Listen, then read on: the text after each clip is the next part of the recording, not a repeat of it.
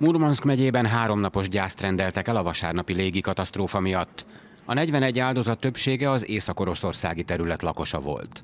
Az Aeroflot légitársaság Moszkvából Murmanskba tartó járata alig fél órás repülés után visszatért a Seremetyevói reptérre, és kényszerleszállást hajtott végre. A pilóták csak második kísérletre kézi vezérléssel tudták letenni a Suhoj 100-as szuperjetet. A gép hajtóműve kigyulladt, és a tűz átterjedt az utastérre.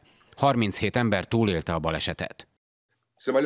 A repülő nagyon nagy sebességgel érkezett, és mivel tele volt üzemanyaggal, súlyos volt, ezért nagy erővel csapódott a futópályának. Az egyik magyarázat szerint a futómű átszúrta az üzemanyag tartályt. Arra a kérdésre kell választ találni, hogy egy ilyen nehéz gép miért ilyen nagy sebességgel közelített, mondta egy repülési szakértő. Még nem lehet tudni, hogy mi okozta a tüzet. A túlélő pilóta azt mondta, a gépbe villám csapott, azután megszűnt a rádió összeköttetés és a műszerek nem működtek. A fekete dobozokat megtalálták. Azt is vizsgálják, hogy mennyire volt szakszerű a mentés a katasztrófa után a moszkvai repülőtéren.